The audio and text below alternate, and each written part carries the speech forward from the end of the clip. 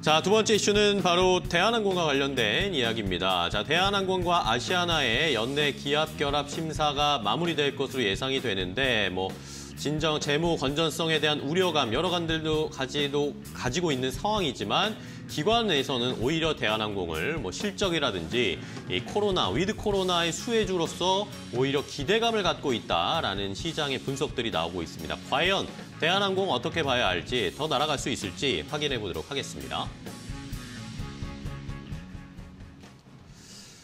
자, 대한항공 이야기도 좀 해봐야 되겠습니다. 어쨌든 아시아나와 이 합병하는 것을 마무리할, 연내 마무리할 것이고요. 이런 상황에서도 그런데 뭐 어제도 약간 좀 불안한 모습을 보이긴 했습니다. 대한항공도 위드 코로나의 수혜도 있는데 시장의 불안감도 반영되고 이런데 또 국제유가도 올라가고 이러다 보니까 어디에 대한항공에 초점을 맞춰야 될지 투자자분들이 좀 헷갈리시고 복잡해 하시는 것 같습니다.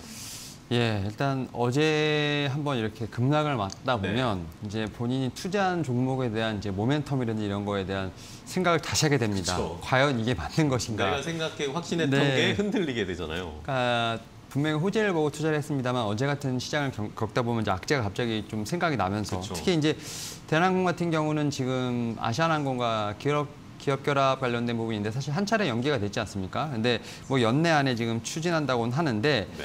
사실 이제 이 어떻게 보면 해외 여행가 해외를 지금 나오는 이제 원거리 여행사들이죠. 대한항공이나 지금 아시아나항공 같은 경우는 사실 리스료가 상당히 문제입니다. 이게 지금 그 항공을 지금 어떻게 보면 달러로 빌리는 거기 때문에 그리고 이런 게 솔직히 코로나19가 생긴다 하더라도 뭐 반납할 수 없는 부, 계약 부분이기 때문에 리스는 계속 나가고 결국 이제 부채율이 상당히 올라가기 때문에 재무 건전성에 상당히 좀 부담이 있다 볼 수 있을 것 같고 그래서 대한항공이 최근에 좀 이제 자산 매각을 하는 부분이 좀 있습니다. 특히 이제 왕산 레저 개발이라든지 또 이제 제주 카로텔 같은 이제 좀 이제 자산을 좀 매입을 하려고 하는데 사실 이런 부분들이 조금씩 연기되고 있는 부분들이 있어요. 이에 따라서 어. 재무 건정성에 대한 부분이 계속 퀘스천 마크가 좀 떠오르고 있고 또 이제 기업 결합 심사안 같은 경우도 사실 이제 어떻게 보면 경쟁에 대해서 어떻게 보면 너무 이제 독점이 되는 게 아닌가라는 좀.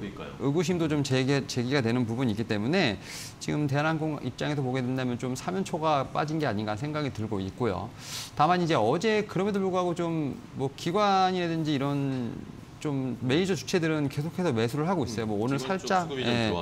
오늘 살짝 뭐 연기금이나 기간이 살짝 팔고 있긴 합니다만 뭐 연기금 뭐 기간 투시는 어제도 그렇고 매수를 했어요. 네. 결국 이제 두 가지 이유인 것 같은데 일단은 3분기 실적에 대한 기대감은 여전히 좀 있다라고 볼 수 있을 것 같아요. 일단 화물을 좀 필두로 해서 3분기 좀 실적에 대한 부분 충분히 기대감이 있고 그다음에 위드 코로나 관련돼서 결국은 이제 여행 수요가 다시 한번 오르지 않을까라는 생각을 하면서 그러한 부분이 좀 어느 정도 좀 점수를 받은 게 아닌가 좀 생각을 하고 있는 부분이 있습니다. 다만 이제 재무 건전성 관련된 부분, 그다음에 또 기업 결합과 관련된 어떤 심사 같은 경우는 그래도 올해 안에 해결되지 않을까라는 또 그런 또 희망도 있는 부분이 있기 때문에 계속해서 좀 메이저들은 좀 매수를 하고 있는 게 아닌가 좀 생각을 하고 있습니다. 네.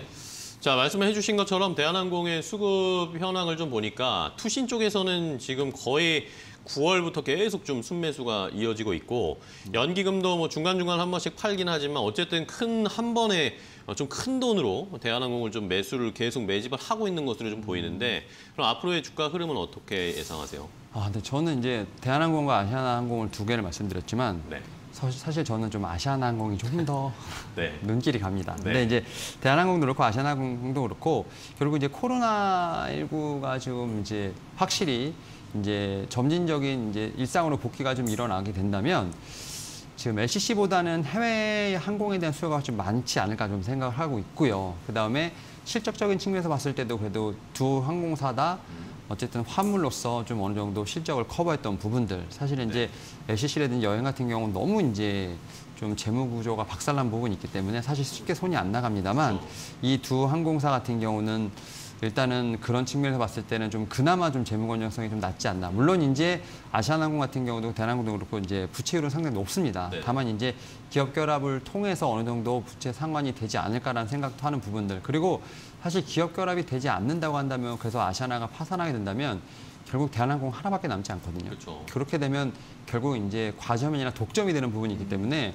국가 측면에서 봤어도 이런 좀 현상을 막으려 하지 않을까 좀 생각이 들고 있는 부분이 있기 때문에 그런 측면에서 뭐 대한항공 아시아나는 좀 다시 한번 반등의 여지는 충분히 있지 않을까 생각하고 있습니다. 네. 자 일단은 어쨌든 뭐 항공 산업이 국가 기관 산업이기 때문에 이것을 뭐 정부에서 방관할 수 있는 상황은 아니다라는 그런 현상을 좀 지적을 해주셨고 그럼에도 불구하고 이 주가적인 측면에서는 오히려 조금 더 아시아나 쪽에 조금 더 점수를 주시는 이 윤여민 팀장님의 이야기를까지 함께 확인을 해봤습니다. 항공주들에 대한 이야기, 우리나라 항공주들이 어떻게 움직일지 아시아나 쪽에 좀 무게를 두신 결론까지 함께 확인을 해봤습니다. 자 오늘 이슈파워 두, 어, 교보- 교보증권의 우리 윤여민 팀장과 함께 이야기 나눠봤습니다. 좋은 insight 주셔서 감사하고요. 오늘도 또 어려운 이슈였는데 또 알려주셔서 감사하고 다음 주에 또 뵙도록 하겠습니다. 고생 많으셨습니다. 네, 감사합니다. 고맙습니다.